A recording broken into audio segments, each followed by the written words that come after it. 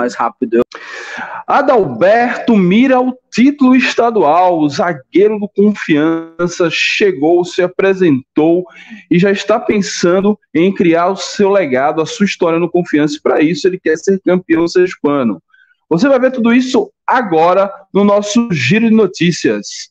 Salve, salve, torcida gasolina! Meu nome é Mike Gabriel. Sejam muito bem-vindos a mais um vídeo do canal Dragão de Aracaju. E hoje vamos de giro de notícias, giro de notícias para falar sobre é, 2022. 2022 começou cheio de novidades, cheio de ações, é, toda uma novidade nova, porque toda novidade tem que ser nova.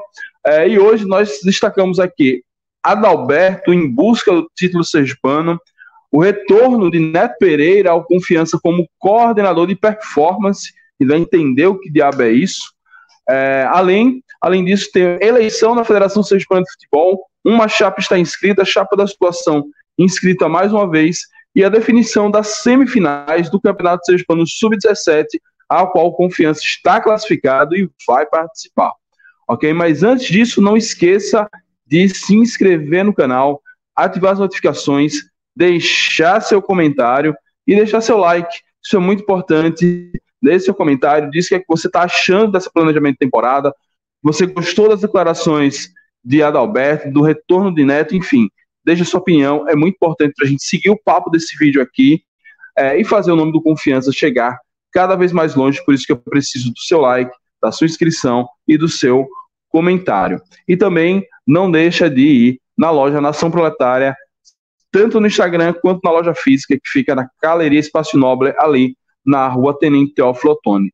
Na loja Nação Proletária você encontra o manto novo do Confiança, o manto novo e tem vídeo meu no Instagram, tem vídeo meu no TikTok, tem vídeo aqui neste canal, Giro Notícias que eu fiz ontem é, com o Vitor Cardeal, a gente fala sobre o lançamento da nova camisa e essa camisa você encontra lá na loja Nação Proletária. Então, se você puder, dá um pulinho lá, a loja Nação Proletária, que inclusive está fazendo dois anos, dois anos de muito sucesso, Vida longa, Nação Proletária. Um abração a João e a toda a turma da loja Nação Proletária.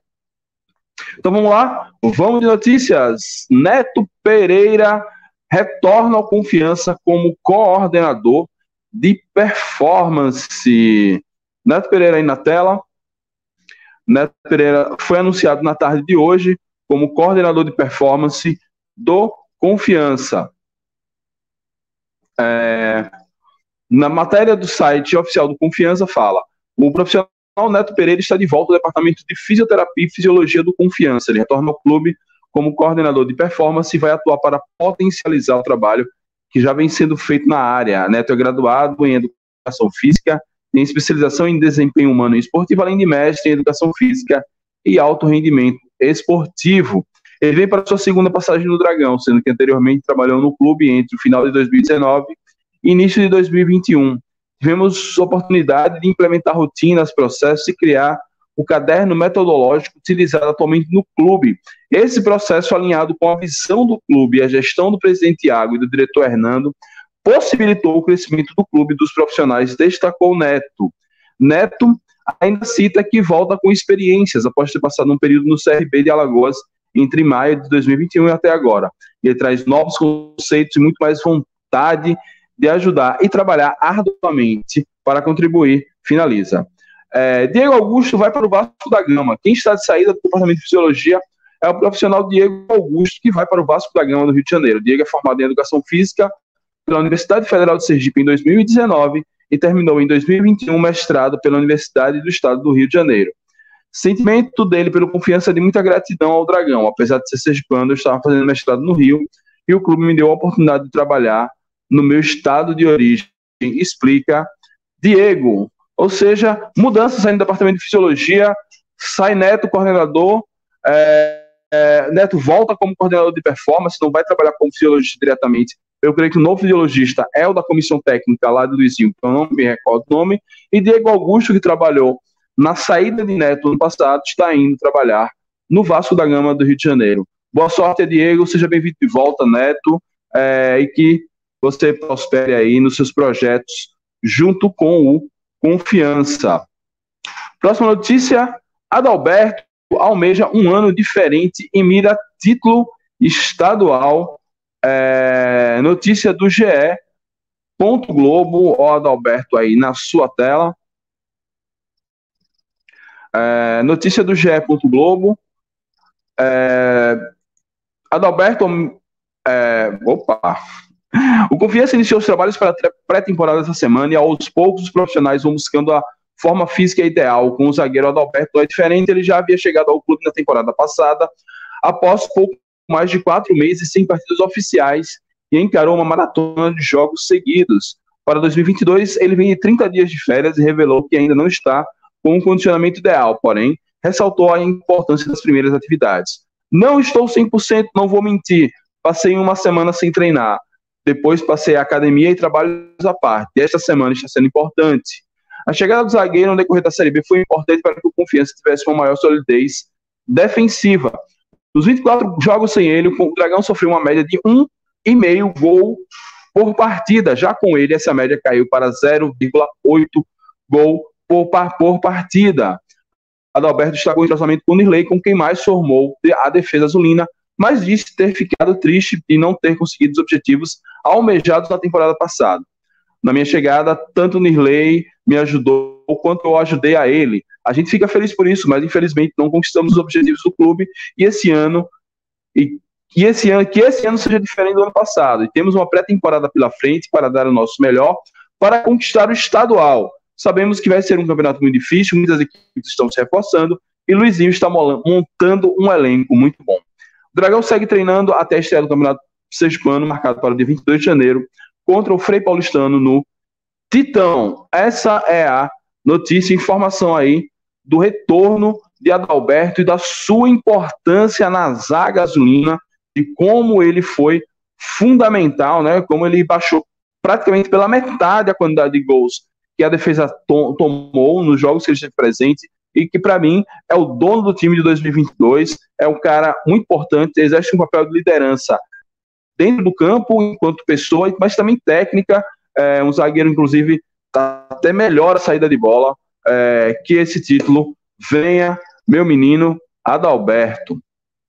Próxima notícia do dia, Campeonato Sergipano Sub-17, sorteio define os confrontos do Sergipano da categoria notícia no blog do sempre competente Adel Ribeiro, do qual eu sempre faço questão de elogiar e dizer que sou fã.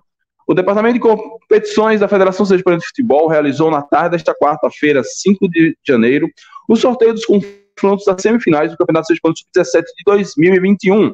O sorteio aconteceu na sede da entidade na capital sergipana. Na penúltima fase da competição, quatro equipes disputam duas vagas na grande final do estadual. As semifinais serão realizadas no dia 13 de janeiro, em jogo único. Em caso de empate do, tempo normal, a classificação será decidida nas cobranças de pênaltis. Com o sorteio, acompanhe os detalhes da semifinal. 13 de janeiro, quinta-feira, semana que vem, inclusive, Confiança volta da Copinha para disputar essa partida. Aracaju versus Propriar, no estádio Adolfo Hollenberg, em Aracaju às 15 horas, e também às 15 horas, Boca Júnior e Confiança, no estádio Geraldo Oliveira, em Cristinápolis. Boa sorte aí a molecada do Confiança, que vai disputar aí o campeonato Sub-17. É, ainda sobre 17, é, o, o Campeonato Sub-17 entrou na reta final da competição. O estadual teve início no dia 27 de novembro ao todo, 31 equipes participaram da competição, dividida em outros grupos. O Sergipano foi dividido em cinco fases: primeira fase, oitavas, quartas, semifinais e final. Até o momento foram realizadas 57 jogos e 170 gols marcados. A grande final do estadual será no dia 15 de janeiro, na Arena Batistão, em Aracaju. Então, se você quiser, não sei se vai poder ter acesso ao público. Se o Confiança estiver na final e você não tiver sem fazer nada, quiser matar a saudade do Batistão, vá lá prestigiar a molecada do Sub-17, é, que aí está fazendo uma boa campanha no estadual. Pena que na Copinha o nível é mais alto, é, é mais complicado mesmo de fazer uma competição melhor. Por fim, última notícia do dia: chapa liderada por Milton Dantas é registrada na Federação Sergipana de Futebol Notícia do Jornal do Dia. Aí, ó, Milton Dantas e seus parceiros aí é, na chapa da federação. É, vamos lá, notícia. Registrada a chapa liderada por Milton Dantas. O futebol sergipano no rumo certo é a chapa encabeçada pelo presidente Milton Dantas da Federação Sergipana de Futebol, registrada na tarde desta quarta-feira, dia 5, no protocolo da Federação Sergipana de Futebol. Milton Dantas concorre a mais uma eleição na entidade e conta com o apoio da maioria absoluta dos presidentes de clubes com direito a voto. Segundo o Estatuto da entidade, os votos têm peso diferente. Para clubes profissionais e amadores. Para os profissionais tem peso 2 e para os amadores o peso é 1. Um. Registro da chapa. No segundo dia após o início das inscrições da chapa para as eleições da FSF, uma chapa foi registrada na Secretaria da entidade.